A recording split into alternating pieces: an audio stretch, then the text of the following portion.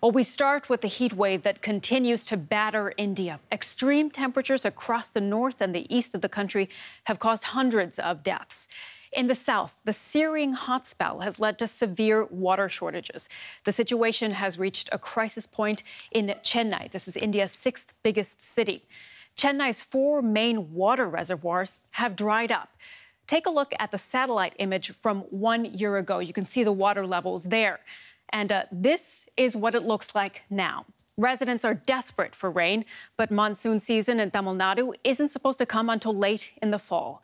Locals are now blaming authorities for failing to recognize the shortage and deal with it early on.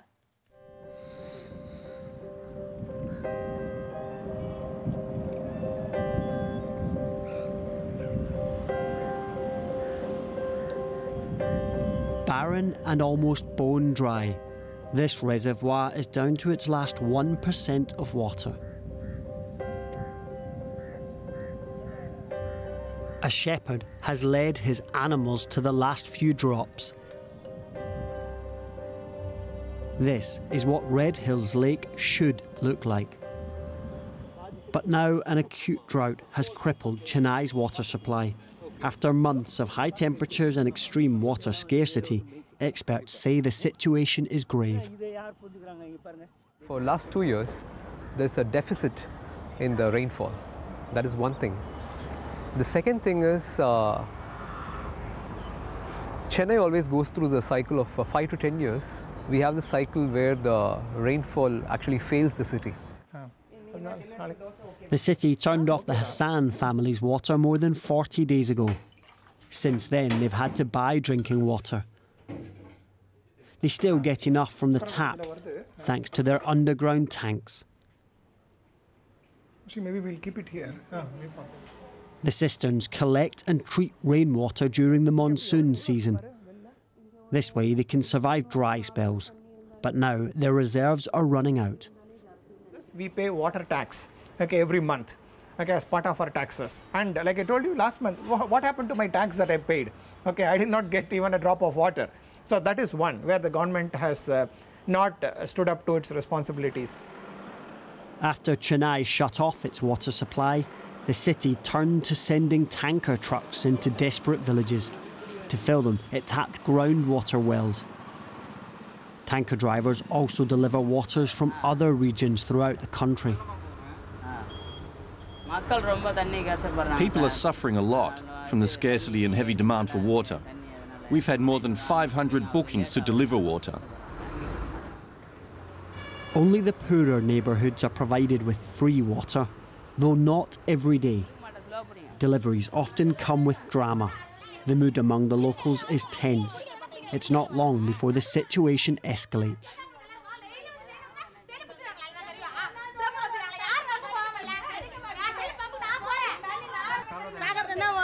We get water through that pump, but it is sewage water and has a foul smell. They will tell us to use that water for daily needs. At the other end of the same street, people get water delivered by water tanks every day, but we don't get it. Residents here have had to pay water tax for the past two years. Now they're demanding clean water supplies to fill up their own reserve tanks. In recent times, Chennai has become one of India's key industrial engines. During the building boom, the city paved over natural water sources. The state Supreme Court has told Chennai to stop this but little has been done. Several rivers flow through Chennai.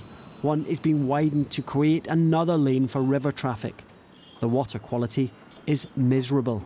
This river, like many here, more like open sewers. So this government is talking about re reusing the sewage, treating it to a to an acceptable standard which can be used by the industry so that there they are trying to eliminate industry as a major user of pure, fresh groundwater.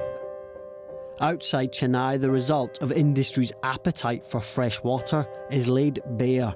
The water table has fallen dramatically. On top of that, the farmers grow rice and sugarcane. Both devour water. The women say their husbands are forced to seek work in the cities to support their families. If it had rained, it would have been better for the crops and for us, but there's no water even to drink. The situation's disastrous. Back at the Red Hills Lake Reservoir, drought conditions make renovations easier. The first upgrade since it was built in 1910 by British engineers. The region has long struggled with periods of drought. The state government plans to invest 33 million euros in the water supply. But Chennai is holding out for the monsoon, though only mild rains are forecast, not nearly enough to quench the thirst.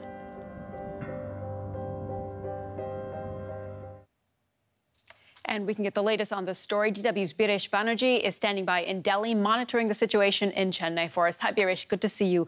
We heard the accusation in our report from locals that authorities did not do enough to get ahead of the situation. Is that a fair accusation?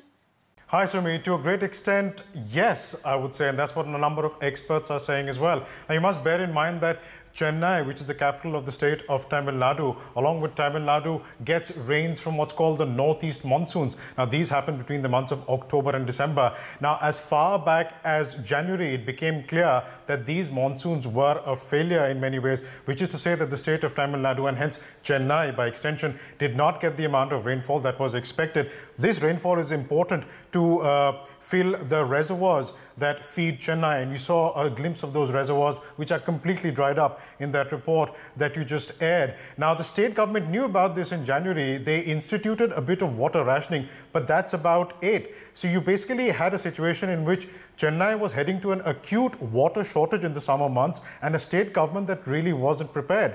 But beyond this, Sumi, what is really important to look at is beyond the current administration and the current government, it has literally been a failure of successive governments and successive administrations in Chennai to stop the massive spread of urbanization. Chennai is a fairly uh, green city. It has three rivers, it has four reservoirs, it has five wetlands, six forests most of these are lying polluted and not usable. A lot of them have dried up. It's literally been pure, poor water management to blame over successive years. A lot of this urbanization as well that I mentioned has been happening on the banks of the rivers. It has been happening on lake beds. So a lot of these water resources have been depleted without any alternate to replace them. So the situation is bad, Birish, you're saying, and it looks like it's only going to get worse. What can be done at this point other than waiting for rain? Well, at the moment, Chennai is doing what it can and do best, which is look at short-term solutions in which they're trying to buff up the resources that are available to the city. And by that, I mean looking at the three major desalinization plants that provide water to the city. They are working at nearly maximum capacity to achieve maximum efficiency. Other than that, the number of tankers that are being made available in the city has gone up. There are proposals, there are talks to bring in piped water from more than 200 kilometers away. And there is also a talk of sending in uh, uh, water through, uh, uh, through railway wagons into the city. That's the short-term nature of it. But of course, that throws open the longer-term question as to what is Chennai's long-term strategy to manage these situations in the future. And that is where experts are cautioning that things like rainwater harvesting need to be implemented in full so that the city has water reservoirs to tide over these kinds of periods. And there is also an appeal being made to the city's residents to perhaps change their water consumption habits because clearly Chennai doesn't have so much water that it can literally waste or call upon when needed. DW's Birish Banerjee reporting in Delhi for us. Thank you very much.